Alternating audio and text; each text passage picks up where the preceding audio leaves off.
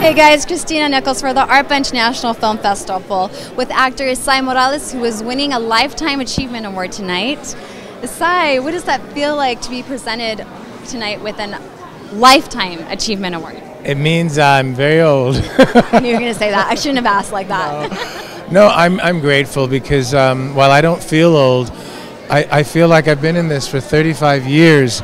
And for people to wonderfully acknowledge my efforts, my humanity, which is really what the ARPA Film Festival is about, is a, a, great honor and something that I, am very um, humbled and, and um, I feel privileged to accept and receive. And I, I don't know what to say. I have 10,000 things in my mind that I could say, and I can only say a few, but um, I just hope to reach the people in person here as I like to do on film and on television.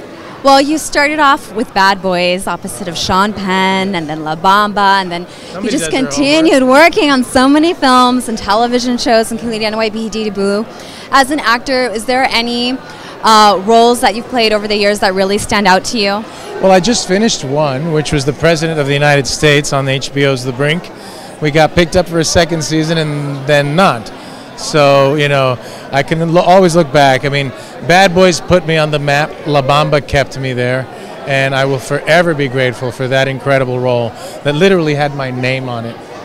People wanted me to play Richie and go for it, and that would have been nice, but I think Lou did a great job with Richie, and I'm glad I played Bob because that's where all the problems were. yes. What can you say to actors out there to help them keep going? Well, the thing is, find out if this is really for you. You know, there's different reasons people become actors. Sometimes they're, they can be very simple, and other times very profound. But find out if, if this nourishes your soul in a way that nothing else does, then continue. Because you need to nourish your soul. You can make all the money in the world, you can have all the popularity, you can be a big star and still not feel whole inside, not feel like you're doing what you were born to do and make sure this is what you were born to do. And then, no matter the highs or lows, it's worth it. Learn to love and love to learn. Those are my mottos.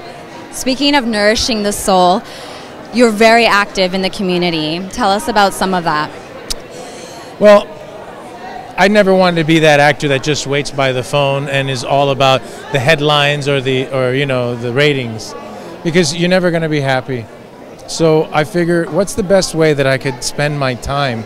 And that's learning about the world, becoming conscious about who really needs help, and lending a hand, keeping in touch with humanity, never letting your mind get too big for your britches, realizing that we're all just people wanting to be loved. At the end of the day, we all want to be loved. We all want to have meaning in our lives. So what I, you know, what I tell the people that want to do this and um, is is find meaning Get in there, challenge yourself, and evolve as a human being. There's nothing better than to personal evolution. Every day, dedicate yourself to being better than the day before. Absolutely.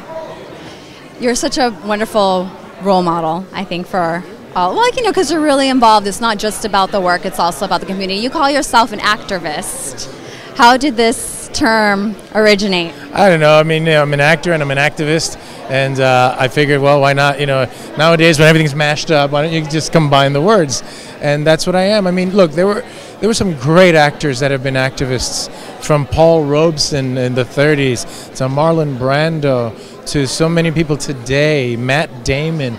I mean, we're human beings too, and just because we're celebrities or maybe famous doesn't mean we're not part of the community. Doesn't mean we don't pay taxes like everybody else does, and we don't have a right to our opinions. So I'm an activist because I want to remind people that we're human beings too and we deserve to be heard and we take our time to study. Not everybody. You know, I, I, I don't like to be just given lines and okay, what's a charity? Okay, and just read the lines. I really want to know that the money is going somewhere meaningful and that people are actually going to be helped and that it, you know, even if it's a little bit, make a difference that matters is better than just getting pressed for being an angel. You know what? That people see through that eventually. If you care about something, add your passion to it. Hi, it's Esai, who a very grateful Esai Morales, who is um, humbled by your honor and inspired by what you're striving to do with the creative arts. This is what we live for. The soul is made divine by what it not by what it does, but by what it strives to do. And you're striving to bring people together through the arts. There's nothing better than that. Thank you.